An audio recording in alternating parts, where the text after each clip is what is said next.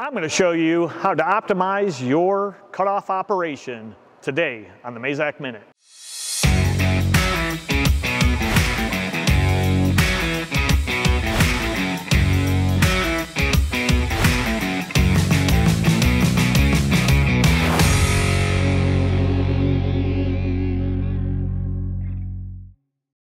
Hi, I'm Mike Zillich with the HEH Group.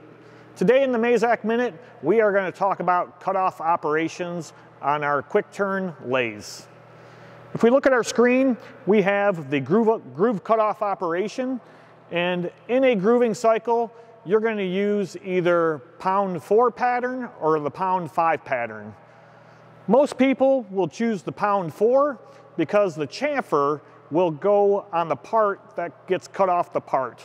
Otherwise, a number five it, the chamfer is on the side that is still in the chuck, which most people want it on the back side.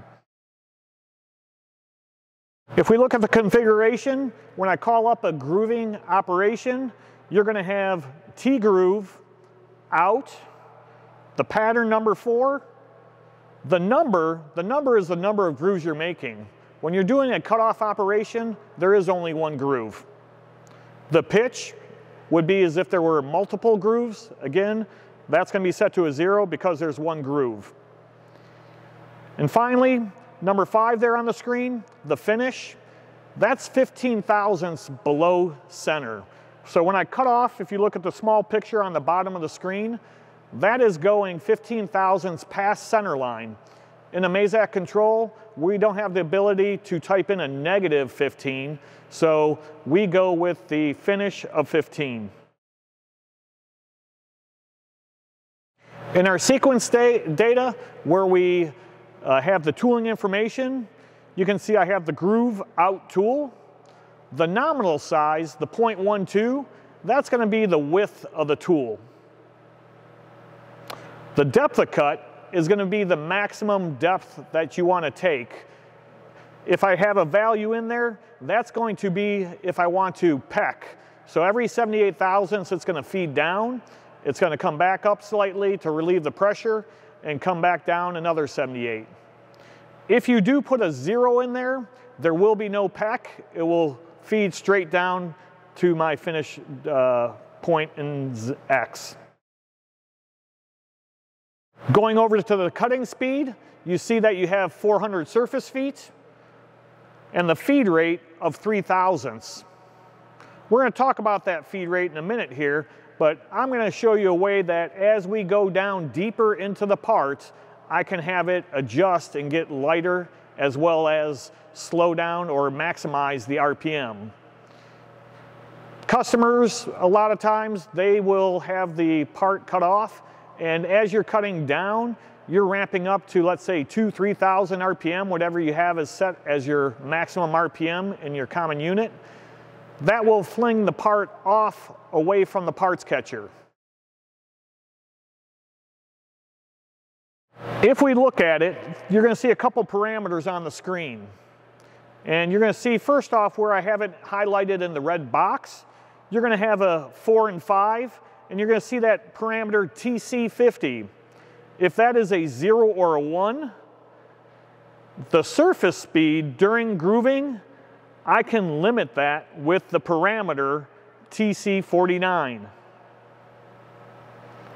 The feed rate during that can also be affected, and you're going to see a parameter TC9. TC9 is going to be where I'm going to have it go down to what they call a cutoff area. And there's going to be a parameter that helps us identify that. If you wanted to have just a straight RPM and just adjust your feed rates, you're going to have TC50 be greater than a 2. With that, when you go to the cutting speed, your surface speed, instead of giving it a surface speed, you're going to identify it by the RPM. The starting feed rate of the groove is going to be at the top, and then you're going to see it's going to drop down. Let me get into the parameters on the next screen to show you what I'm talking about. In the figure data, you see we're starting at 2, start point of Z at 2.5, finish of X of zero. But notice this roughness feed rate now, where the feed rate in the sequence data was at three thousandths, I'm showing you a value of a thou and a half. So let's take a look at a few parameters. We're gonna start with TC9. TC9 is going to be a percentage of the length of cut that the cutoff tool takes. I'm going to use an example of 10%. So if I have a bar stock of two inches, as I'm coming down the part, if I have it set to 10, that's going to be a 200 thousandths radial uh, cut or a 400 thousandths diameter. That would, that's how you establish that cutting cutoff zone area. If we look down below at TC49, you're gonna see if I have a zero or one set for TC50, this uh, TC49 becomes the uh, restricted or the RPM that would be at a straight RPM. So from the two inches down to that 0.4, it would be in a constant surface feet where it's increasing in RPM. But when I get to the part where I want to uh, have a constant, or a, uh, not a constant RPM, yeah, constant RPM, I want to have TC49 set to that value. So you may have it set to 500 RPM or so. That will allow the part to drop straight into it.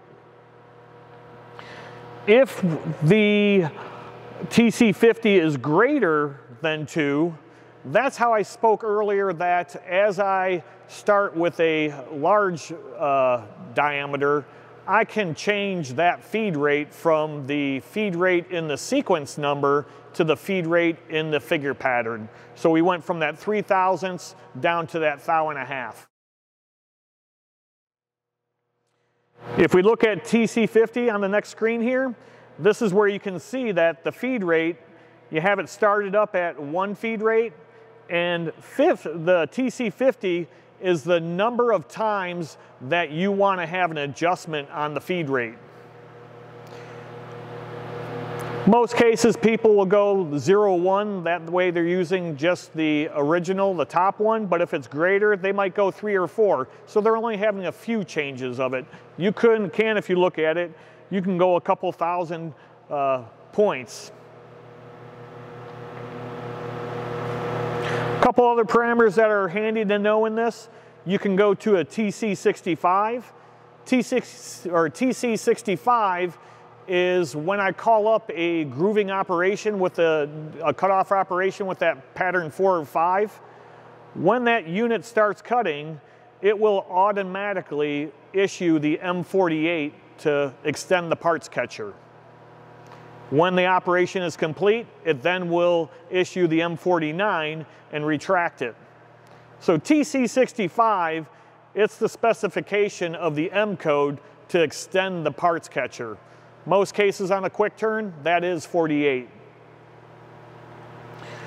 Before the operation starts cutting, if you want to delay the cutting operation slightly to give the parts catcher time to advance, you got parameter SU uh, 49, and that's gonna be in the increment of 0.001 seconds.